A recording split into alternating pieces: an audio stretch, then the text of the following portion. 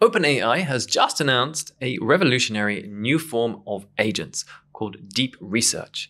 And this releases the most powerful research agents that we've seen into the wild. Now, on a popular benchmark called Humanity's Last Exam, this new OpenAI model is scoring 26.6%, which is more than double the score of its nearest competitor, and it leaves the DeepSeek R1 model in its wake, which scores only 9.4%. Now, the key thing to understand about this new deep research model is that it allows the AI to go off independently and perform complex research tasks for up to 30 minutes at a time. Now, this is crucial for any project that needs detailed research. So, if you're looking to write a book or explore the possibility of a business idea, if you're considering purchasing a complicated piece of equipment or a piece of real estate, it now allows the model to go off and research a whole host of different sources and come back and synthesize all of that information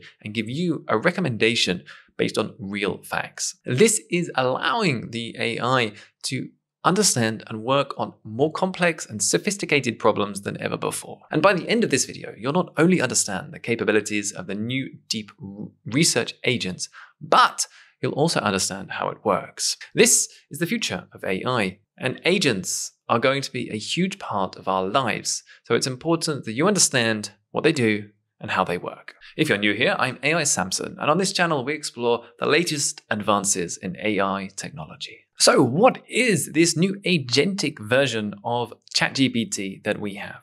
Well, it is an agent that uses reasoning to synthesize large amounts of online information and complete multi step research tasks for you. Available to pro users today, Plus and Team Next. So, they're rolling it out to the top tier straight away, and it's going to be available for others in the coming days and months. Now, the essential elements of this is it's a version of ChatGPT that has enhanced capabilities to go off into the web and complete complex tasks for a much longer period of time. This is like allowing ChatGPT to perform detailed research tasks where it will go through a number of different steps, find a whole host of different references, and synthesize all of the information into a detailed answer. So let's go ahead and take a look at exactly how that works.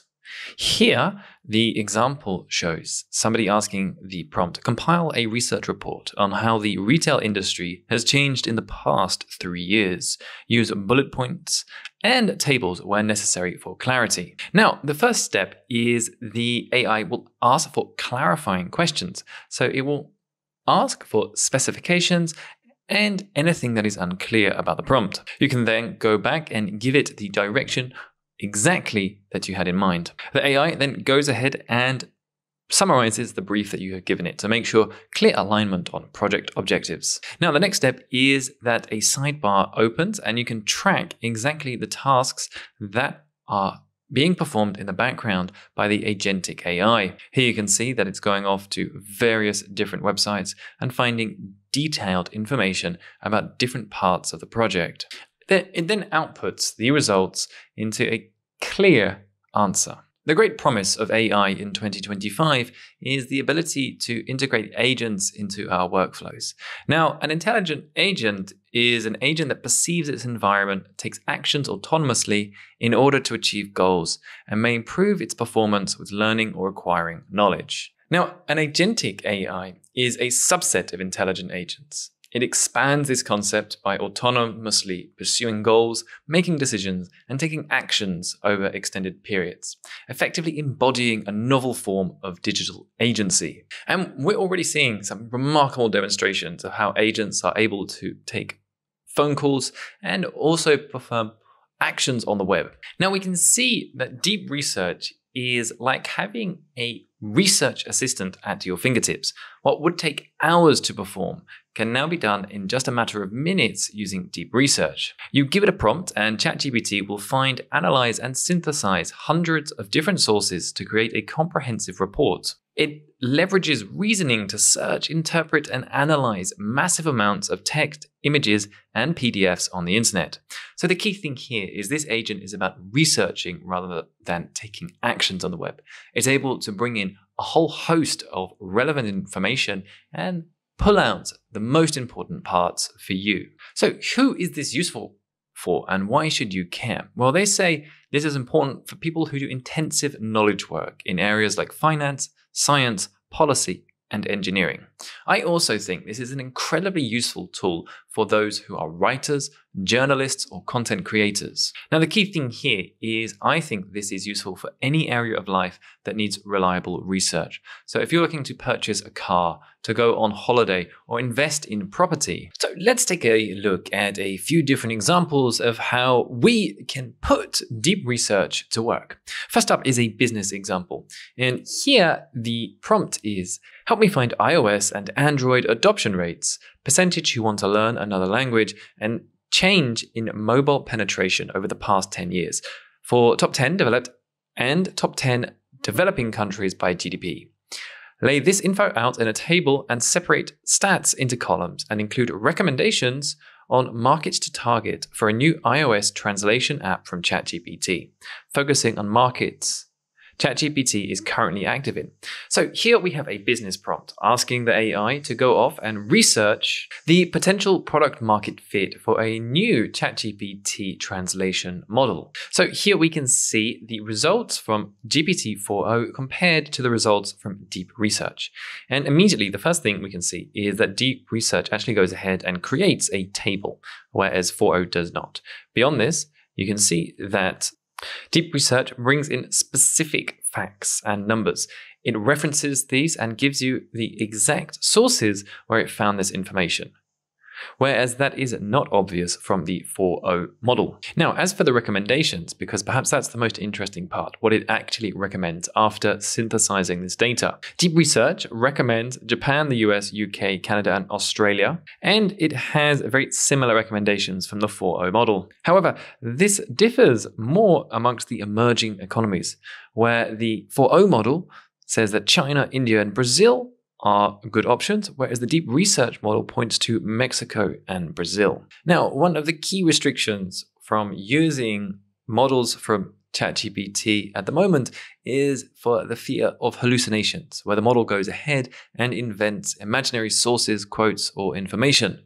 Now, what OpenAI says about its latest model is that it can sometimes hallucinate facts in responses or make incorrect inferences, though at a notably lower rate than existing GPT models. Now, what I think this is particularly interesting for is if you're an entrepreneur or a business owner or anybody who is looking to research the potential for an idea, this can help you get a pulse over what are the opportunities related to your specific vision. For example, I'm often thinking about what courses may be the most useful for people and how can I help people the most? And I can take this information and ask ChatGPT to give me some market research on a couple of different course ideas. Now, another extremely important option for this is in researching credible journalism. And I am in the process of writing a book and I'm so excited about leveraging this for surfacing specific studies and references that I can use in my book writing process. Not only will it give me useful facts and figures that I can bring in to my book, but it will give me the exact references so I can double check that these in fact exist. Now, another demonstration from the model is the needle in a haystack example. And this is where a person is asking specific TV show that they watched and they cannot remember the name of. Now, one area where LLMs are undoubtedly giving us huge potential for evolving the quality of life of millions of people is for medicine. Now, it's possible to get very useful insights into different medical situations using ChatGPT. And here we can see that the user is asking for a very specific question related to programming efficiency of protein sequences. Next up is an example from the world of user experience design. This relates to defining and understanding the most important design patterns for building complex web applications and mobile applications. And here you can see that it references some extremely important studies to demonstrate the answer to the query. And the query is about whether it is important to add icons to buttons to improve user understanding. Now, a particularly interesting use case for this is if you are thinking of creating a new purchase for an expensive piece of equipment. Now, you may often have to go off and research all different types of brands and specifications to get the piece that you want. I recently bought a MacBook Pro and deciding on which version with which RAM and which SSD size to buy, as well as the size, and also throwing in the mix, thinking of getting one of the latest MacBook Airs, I turned to ChatGPT to help me decide. And although it gave me a recommendation to go with a MacBook Pro, this tool would give me even more confidence that I could pass out all of the different metrics to find the perfect option for me. Now, the example they show here is for somebody looking for a snowboard. And I think this works particularly well for expensive exercise equipment. So if you are looking for any winter sports equipment or cycling equipment, this can certainly help you differentiate between vast numbers of different product options. But what I'm particularly interested in is using this to explore real estate options. Now, this is a opportunity to leverage the ability of the AI to go off and pull in specific options for purchasing real estate. I'm interested in making a few global bases in places around the world, but I don't have the option to travel to all of these in a short space of time. And I'm particularly interested to see what insights the AI can divulge about new real estate opportunities. Now, one particularly interesting feature about this is that it's able to browse over different files, bring in data from different sources, and create graphs using all of this different data.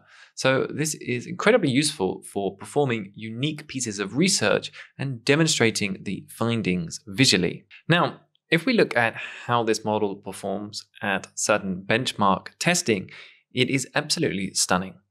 We are looking at the benchmark test called Humanity's Last Exam, and this is a multimodal benchmark at the frontier of human knowledge, designed to be the final closed ended academic benchmark of its kind, with broad subject coverage. The dataset consists of 3,000 challenging questions over 100 subjects, and what that means is that it is an extremely challenging multimodal test for AIs, comprising of 3,000 different questions, and the results are quite remarkable. The OpenAI Deep Research model achieves best in class scores, reaching 26.6% accuracy.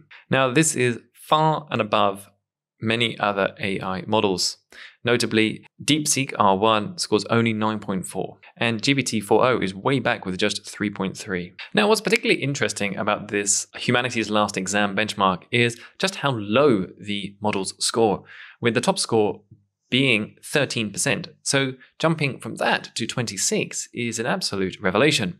However, the developers of this benchmark have speculated that models could exceed 50% accuracy on HLE by the end of 2025. And what would that mean? Well, it would mean high accuracy on HLE would demonstrate expert level performance on close ended, verifiable questions and cutting edge scientific knowledge. But it would not alone suggest autonomous research capabilities or artificial general intelligence. Now, if we're talking about who gets access to deep research, OpenAI said it's making deep research available to pro users today, but it's limiting that to just 100 queries per month, which is a pretty low amount of queries. Now, it expects that support for Plus and Team users will be coming next, followed by Enterprise. OpenAI is targeting a Plus rollout in about a month from now, the company said, and the query limits for paid users should be significantly higher soon. It's a geo targeted launch, as per usual, and OpenAI has no release timelines to share for customers in the UK, Switzerland, and the EU. So, what is particularly exciting about this model is it paves the way for more evolution within the AI allowing it to go off and perform detailed, intricate, and complicated research tasks.